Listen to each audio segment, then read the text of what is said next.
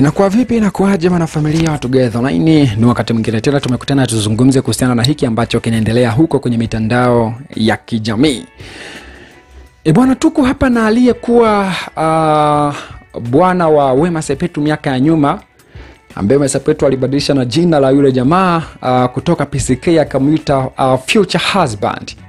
E, Wema Sepetu alikuwa anamwita yule mwanaume future husband wake na hilo jina ndo uh, lilipepea sana mjini, future husband wa Wema, future husband wa Wema, lakini future husband ilikuja kugeuka na ikawa uh, majanga husband, kwa sababu Wema Sepetu aliweza kuzurumiwa pesa nyingi sana ambazo mpaka leo e, Wema Sepetu anamliliaga yule jamaa kwamba da se, kwa wizi ambao ulinifanyia Mungu atakuona na Mungu atakulipa.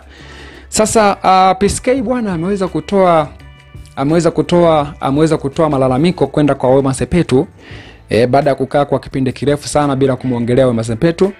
E, future husband huyu PCK ameweza kutoa malalamiko, anadai kwamba uh, Wema Sepetu uh, kuna kipindi ambapo uchumi wake uliyumba na akarudi kuishi Mbagara na nini e, so PCK bwana ikabidi amwonee huruma kwa sababu watu walimlalamikia sana PCK, wanamwambia kwamba kweli umeamua kumtelekeza Wema Sepetu mlivyokuwa mkiishi maisha ya raha mkipendana, leo hata kama mmeachana ndo mtelekeze.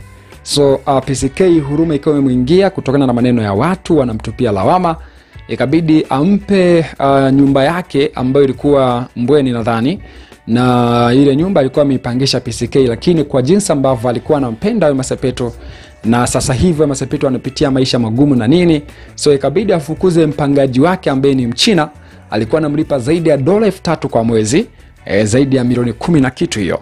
Kwa manake uh, uh, akamfukuza e, akamfukuza eti milioni kumi na kitu, milioni kama saba nane hivi, kwa akawa amemfukuza yule Mchina, na alipomfukuza yule Mchina E, uh, akaja akamkaribisha Wema Sepetu kwenye ile nyumba akawa anaishi. Baadaye Wema Sepetu akaingia katika mahusiano na Whozu, akamvuta Whozu wako kwenye ile nyumba wanaishi, kitu ambacho e, PCK anaona kama amevunjiwa ame, ame, ame, ame, amevunjiwa adabu, au sio? ya kwamba amemsaidia nyumba, ameita na bwana wake wameishi mule, lakini pia kuna tabia ambazo Wema anazifanya ambazo zinamkera PCK. So PCK ameamua kuchukua jukumu la kumfukuza Wema kwenye ile nyumba ambayo uh, PCK alimpatia. Hii story sijui kama ni ya kweli au sio ya kweli. Nitaenda kukusomea maelezo yote ambayo PCK ikaweza kuyaandika. Anasema siku zote amemposti Wema Sepetu na kuandika huu ujumbe, anasema siku zote wema wangu na moyo wangu wa huruma ndo huwa unaniponza sana Wema, ni miaka kadhaa tokea tumeachana, umenikoseaga mengi sana, yote nikawa na kusamehe mpaka Makonda alipoanza kuwa na kutumia wewe ili uh, mniangamize na kutumia njia hiyo hiyo kutoa taarifa kwao kuwa najihusisha na biashara haramu, lakini baadaye huyo huyo alikuja kukugeuka na kukusweka ndani. Nilipambana sana nikakutoa bati wai bado unanifuatilia Wema? wai bado unaniongelea upuuzi kwa watu wako wa karibu? Uliteseka ukawa hauna pakuishi mpaka ukawa uh, mpaka ukaamia Mbagala, but watu wakanijia juu. wai unamwacha Wema Sepetu anateseka wakati una uwezo wa kumsaidia? Nilitukanwa sana na, kuone, uh, na kuonekana nina roho mbaya, nikaona isiwe shida nilitoa mpangaji kwenye nyumba yangu huko Mbweni ambayo nilikuwa nalipwa dola elfu tatu kwa mwezi, lakini nilimtoa mchina wa watu kwa haraka, akaondoka.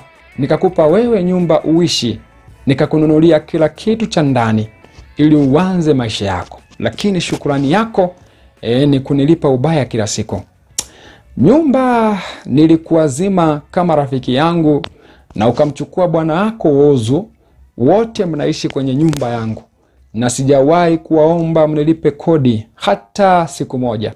Nimefanya, uh, nimefanya hayo kwa kukustiri kama binadamu mwenzangu, lakini malipo unayonilipa sasa hayavumiliki hata kidogo. Kama ni wema wangu kwako tayari uh, umeshaniponza, ninachokuomba tu E, kiustaarabu ondoka, ondoka kwenye nyumba yangu. Ninakupa only 7 days ujipange kwa kwenda e, ujipange pa kwenda, but I need my house. in 7 days please please please ni ujumbe ambao ukaweza kuuandika pck hatufahamu kama ni kweli hatufahamu kama ni uongo. Mmoja kati ya mtu pia ambaye anajitungia sana stori ni PCK. PCK anaweza akaibuka akasema kwamba eh, kuna kipindi alitaja idadi ya wanawake ambao bongo movies ambao kashatoka nao kimapenzi. Irene woya uh, jacklin wopa wema sepetu uh, uh, shamsa fodi uh, johali. Uh, nani? Nani? Elizabeth mai kwa kumtaja kajala masanja. Akasema kwamba kuna bongo movies eh, wanampigiaga simu saa nane za usiku. Wanasema naomba tu psk naomba tafadhali nitumie elfu moja ninunue ninunue umeme umeisha ninunue ruku elfu moja. Mm, maisha magumu. Lakini psk anakuwa anawasaidia kama ndugu zake e, wengine wanaenda mbali zaidi wanatoa mili yao kwake e, ili wapate maisha mazuri awape pesa. Unaona bwana so wakataji hiyo listi e, ya wanawake ambao kashatembea nao. Sasa watu wakasema je ni kweli au sio kweli? Lakini ndo hivyo pck kwao ni moja kati ya watu ambao anibuka na vitu vitu na- anasema na nini? Ni hatari sana. E, ni hatari sana. Moja kati ya watu uh, moja kati ya mtu ambaye pia alikuwa anafahamiana na watu wengi sana mastaa kina Diamond Platnumz alikuwa anafahamiana nao sana kina Harmonize kwa sababu pia ukaachilia mbali na uh, yeye pia ni, ni promoter. E, ni promoter e, wa kuandaa mashoosho manini unajua zile. So kiukweli ni hatari sana. Ameweza kuandika huo ujumbe e, lawama kwa wema sepetu kwamba wanishi na uozo kwenye nyumba ya msaada alafu uh, wema sepetu anamwongelea vibaya pck kwenye nyumba ambayo alikuwa analipwa dola elfu tatu kwa, uh, kwa mwezi alafu wema sepetu anaishi bure alafu bado tena wema sepetu badala ya kuonyesha kwamba anashukuru kwa hicho yeye bado wema sepetu anamzungumzia vibaya pck do ni hatari